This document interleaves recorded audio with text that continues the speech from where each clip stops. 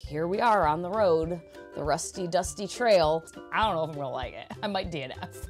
We're traveling about, going to and fro, here and there and everywhere. Jerking off a statue is one of them.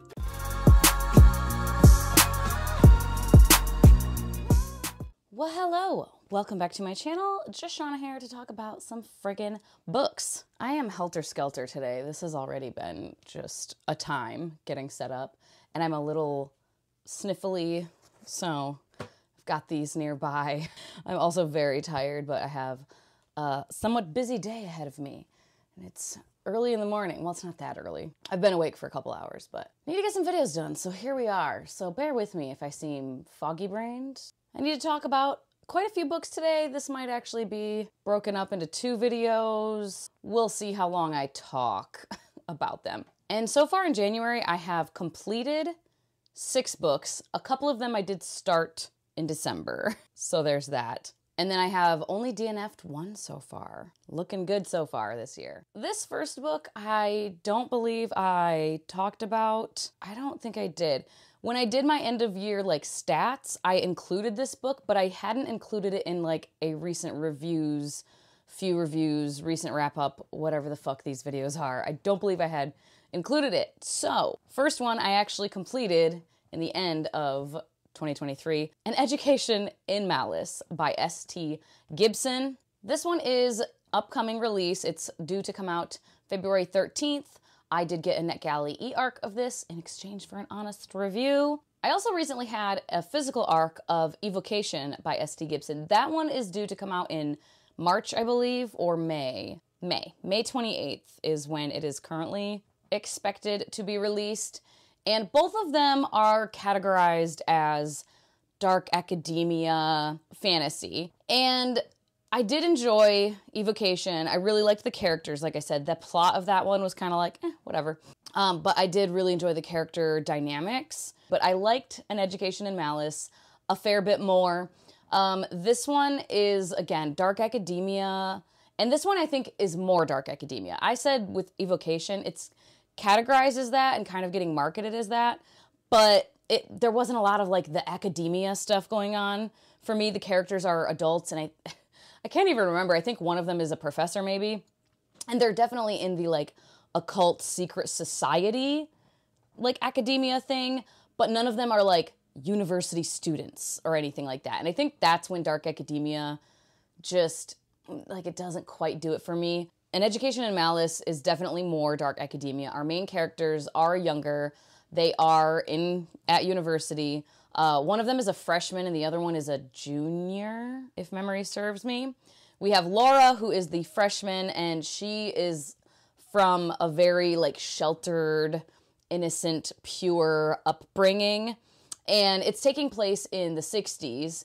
And yeah, Laura is just like a preacher's daughter and all about like her religion. She does from the very get-go explain and, and mention and you see it she questions religion a lot like she wants to learn more about it and she does want to be a preacher herself uh, because women are being allowed in the clergy and she's excited for that but she's definitely like a little more progressive in her views on things and like enjoys questioning and like researching and kind of analyzing her her faith, right?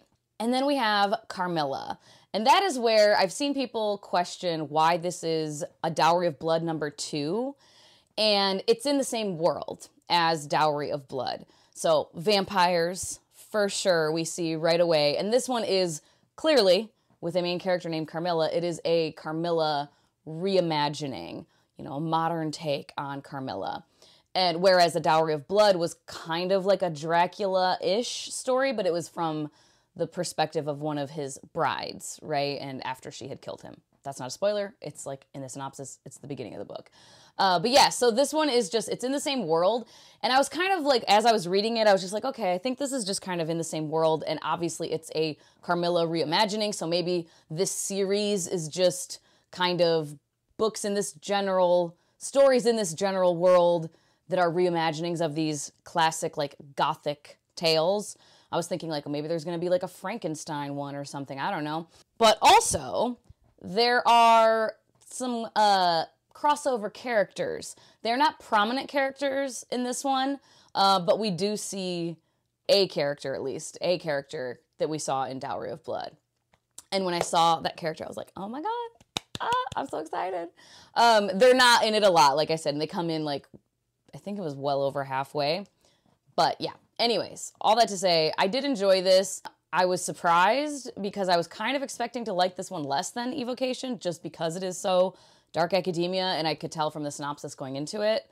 Like, we're going to be with characters that are like at university doing this stuff. Uh, but yeah, rereadability.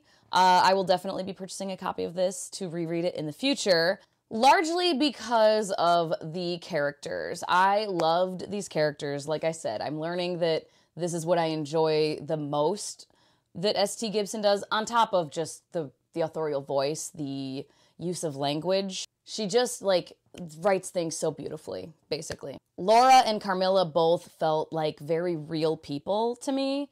And I personally found their like it's not like enemies to lovers because I, I think people throw that around a lot when it's more just like I didn't like you when I first met you or I got a bad first impression of you and I don't, you're distasteful to me, and people call that like enemies to lovers. I don't think that's really enemies. This I feel like was rivals. Sorry, hold on.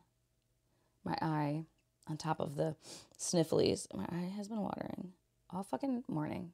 Anyway, the rivals to lovers dynamic for me was like top tier. I thought it was done so well. They were just battling it out. They were in competition for this one professor's attentions uh, Mrs. D. I can't remember her full name. Carmilla always just calls her Mrs. D. But yeah, she's this professor there um, teaching about poetry, and they just get enthralled with her. And pretty quickly, I don't think this is a spoiler. I, it's like very, very early on in the book. Um, Mrs. D is a vampire, and Carmilla is aware of this. No one else is. So it just, it was all very compelling.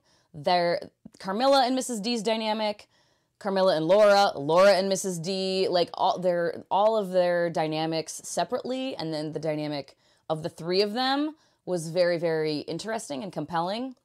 Obviously, you know, I guess content warning for like an age gap, and more so than an age gap, because I mean, she's a vampire. There's like always an age gap in like vampire story with vampires and humans. Um, but and and it's not really like a sexual thing, but it's an inappropriate relationship with like a power dynamic thing, like between professor and student. Um, again, it's not necessarily sexual, but it's inappropriate for sure. And with the plot, I mean, over the past year or so, I have really come to like solidify for myself that I do really enjoy gothic literature, gothic fiction in various different genres, especially like historical, gothic, you know, gothic horror, gothic historical, gothic mystery, gothic fantasy. And it's high on the melodrama, and I just eat it up. I love it in that specific subgenre. I don't know why. The plot was pretty straightforward in this one. I wouldn't say that I felt like there were like high levels of intrigue necessarily. There was a little bit of a mystery going on, and for a little bit as the reader, you were like, not aware. We weren't in on it. We weren't sure what was going on. Oh my God. Now I feel like I have an eyelash in my eye. Oh, fuck. I am just falling apart. oh, now I'm starting to sniffle again. Sorry if I keep blinking like crazy or I look like I'm crying. There's just, I think there's something in my eye and it keeps watering. It's fine.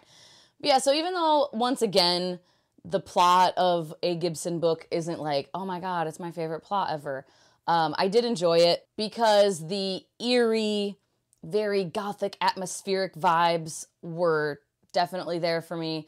And then the character dynamics were just so interesting and compelling to me. And there are there are some sexy times in here. This is sapphic. This is sapphic romance, as you may have imagined, with you know three characters that are all women, uh, two main characters. We get perspectives from Laura and then perspectives from Cam- Carmilla. And yeah, I just really, really enjoyed the dynamics that we were seeing. So I ended up giving this one 4.5 stars. Wasn't quite five just because it didn't leave me feeling like scream from the rooftops all time fave, but definitely a fave, like a favorite of the year for sure. And then another one that I started in December and I finished in the very beginning. I think I finished it on the first or the second um, of January. Warrior of the Wind by Suyi Davies Okungbowa. This is book two of the Nameless Republic series, adult fantasy set in an African inspired world. And the first book is Son of the Storm, and the first book I gave five stars. Spoiler alert, I did not give this one anywhere near five stars. I was really bummed because it's been a couple of years waiting for this. And I do need to reread Son of the Storm because it's one of those books that over time, what I do remember of it, like looking back, I'm like, ah, if I reread it, I don't know if it would hold up as like quite as five star. Uh, that being said, this one was still quite disappointing overall. It just really had pretty severe middle book syndrome for me. The plot just honestly did not grab my interest almost ever at all in any capacity. I am still going to continue with the series. I think it's just going to be a trilogy. I'm pretty sure. I'm definitely going to, if it's going to be more than three, I'm definitely going to at least pick up the next book and see if I would continue from there. So I'm still intrigued with the overall story being told in this world. Um, but basically, the entire like 40 to 50% of this was this one, like, without being spoilery, it's like a prison break plot. And it just, it was, it was way too long. And it wasn't even particularly exciting, the actual prison break, I didn't think. Um, and it just felt a little convoluted. And then there was a lot of traveling. And okay, most fantasy books, especially like epic fantasy, most of the time there's some traveling involved. If there's multiple characters, if there's multiple perspectives, usually you have characters moving about in the world. I don't mind that. Like, no shit. Like, that has to happen. It's fine. And sometimes I can even really enjoy like a questy adventure time. Adventures of Amina Al Sirafi. We're traveling about, going to and fro here and there and everywhere. I really like that book. I love it. But this one, the it's when the traveling is just like too long and kind of dull and we're focusing way too much on the act of travel versus just we are traveling and now we're here. Like we're mostly just like here we are on the road, the rusty dusty trail and I just I get so over it when it's repetitive and that was the case here. The most interesting parts were toward the end. There was definitely stuff towards the end that I was like, "Oh shit." Like some reveals and further mystery and lore in the world and intriguing things going on, but it was only at the end and it did feel a little bit rushed as well. I definitely still have hope for the next book or books. Again, I think it's a trilogy. Um, and if it is a trilogy, you know, I really hope the next book sticks the landing and is like at least a 3.75 four star read for me um, because I did really enjoy the first one. But yeah, this one twas twas not twas not my fave. I ended up giving this 2.5 stars, which isn't like shitty. I don't think the book is like poorly written. It just felt very middle booky, you know. And it's been a while since I've read a sequel that just had extreme middle book syndrome, and I'm reminded of why we don't we don't love that, you know. I do have a couple of other I have a couple of NetGalley e arcs, and prior I did like a you know, arc review, upcoming releases review recently, there where I had like three or four. I only have two though, so I'm just gonna include them in this because I'm not gonna be reading another one for a hot second. So the next one that I completed in January is Neferura by Malayna Evans. And this is historical adult, and it is about Neferura. Neferura. Why is that so hard for me to say? And I was intrigued with this one because I read The Woman Who Would Be King last year, and that is about Hatshepsut, who is Neferura's mother. Hatshepsut was uh, not the first female pharaoh, but the like most successful, and I think definitely the longest reigning of the couple of female pharaohs that they ever had. Um, and it was a pretty interesting book, uh, the nonfiction that I read about her and there's there's so much of it that is speculation because there's so little like written records of that time. They did use murals and statues and things like that to kind of convey certain things, but as I learned in that book, a lot of times they tweak it to like Hatshepsut was tweaking her statues and like images of her everywhere to look more masculine and look like a man and to kind of um, convey her connection to the gods and that she is a walking, living god and all this stuff. So it's a lot of like the propaganda of it all. So even in that nonfiction, it's a lot of like, this could have meant this or that. Maybe she felt like this. Maybe she felt like that. We don't really know. And Neferura is obviously historical fiction, um, and I enjoyed it. Overall, this book had pretty solid pacing for me. Uh, it kept me turning the page pretty quickly, consistently throughout the book. And having read The Woman Who Would Be King, I did have a pretty solid understanding of the world. And I don't know how this book would read if you didn't like have any kind of under like the rituals and like the the whole concept of like the god's wife like the god's wife of amun i i understood all of that and i don't know how it would be as a reader if i had no knowledge of any of that whatsoever. It might have been a little bit confusing. I don't know. I i could not say. It was just a thought i had of reading it of like oh i'm familiar with all of this stuff. And even like more familiar in in this book they don't go into like what the rituals really are. And it's like jerking off a statue is one of them that they do every morning. That wasn't in Neferura, but like in The Woman Who Will Be King, they explain like these are the rituals. Um, so yeah, I have a, I had a pretty solid understanding. I'm not like a fucking expert on Hatshepsut by any means, but more of an understanding if, than if you had never read something like that. Um, and just how Hatshepsut came into power and everything as well. I really enjoyed the depictions of friendship in Neferura. Um, and the plot was pretty exciting too. There, it, like I said, it was a page turner. Like we were moving and grooving, plotting. What are we gonna do next? Scheming, etc. I didn't rate it higher than I did, which I'll get to in a minute, um, just because some of the plot points did seem a little out of place. And then the ending felt a little bit too neatly tied with a bow.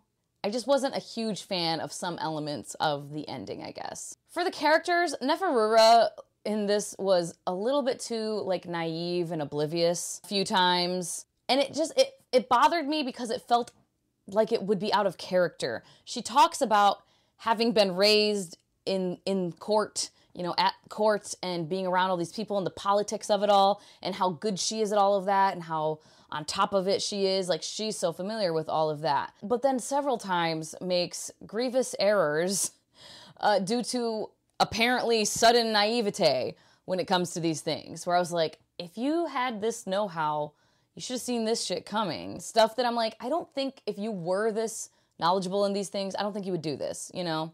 But again, the friendships, the depictions of friendship, um, she had some like priestesses that she. And I did also feel like uh, Thutmose, he came off a little bit too like mustache twirly. I ended up giving this 3.5 stars though. A very solid read. If you at all enjoy historical fiction, if you're at all interested in Egyptian history, I would say give it a go. Give it a shot. I think it, I said it was adult, and I'm pretty sure it is marketed as adult, but I don't know how old the characters actually were. They did feel, it, it they did feel a little younger, I suppose. So it might be categorized as young adult. Not totally sure.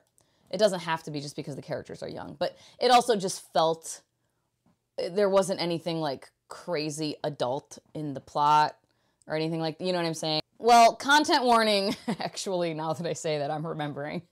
Uh, content warning for like marital, you know, R word. I guess like it, it's one of the, like it's doing doing your duty, like having to get married, obligated to get married because you're royalty and that's what you must do. And then the sex scene, it wasn't like on page or anything like that, but you know, and there's like a mention of it having happened.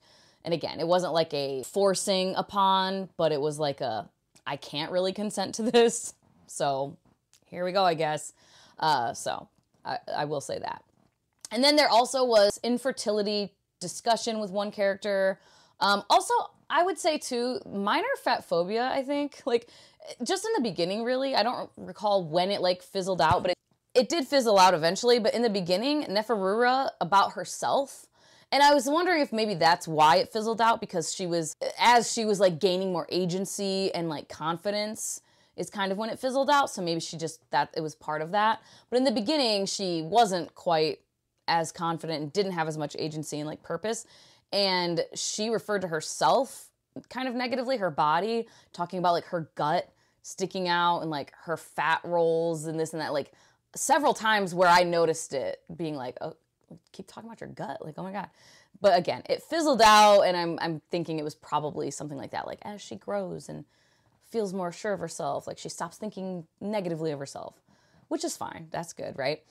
And then there's like grief, there's death of characters, um, and technically incest because, again, Thutmose and Neferura are half siblings, and that's the marriage that has to happen. Um, and I don't believe that's a spoiler because that's like a historical thing. um, and then, like I said, there's like the marital R word and like physical abuse, not aggressively and not like multiple times. Uh, but there is one time where you see Neferura getting struck, um, which, you know, it's no good. So just a heads up on those things. I was over here like, it's just read it. It's really young. There's nothing dark. And then I was like, wait. there was a few things actually. The next one was another NetGalley e arc, uh, but this was the one DNF for January so far. It is only the 13th, so you know, I've got time. But this one was The Djinn Waits 100 Years by Shubnum Khan. And this one just pretty quickly I was realizing was not going to be the writing style for me. I stopped at 15%, but I'm not kidding. In the first like page or two, I messaged Elle and I was like, hey, I just started the Djinn Waits 100 Years. I don't know if I'm going to like it. I might DNF. Something about it just feels too disjointed for me, kind of nonsensical. And I, I don't know how to describe it because whenever I talk about books that have that, like nonsensical metaphors, right? I don't mind that. I'll give you the sun, rife with nonsensical, silly metaphors that I fucking love.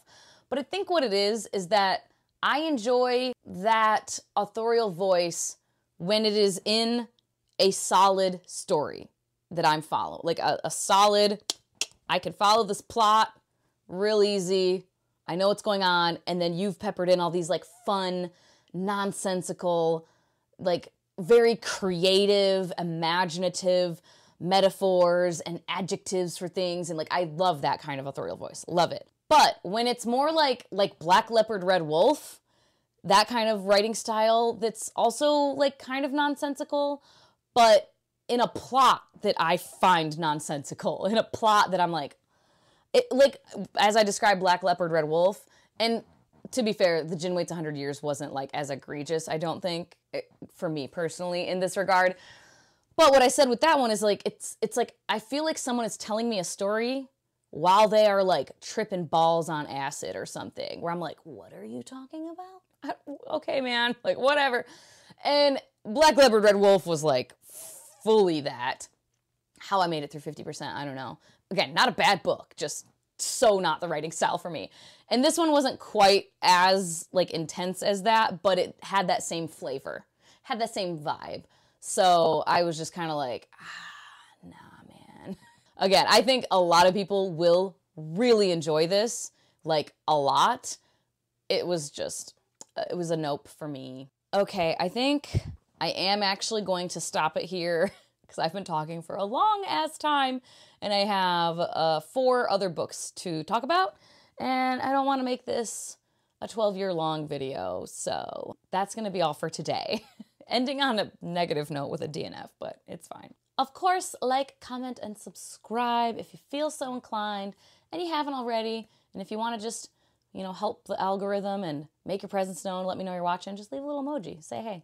As always, thank you so much for your time. Hope you all have a wonderful day, and I will talk to you later. Bye bye.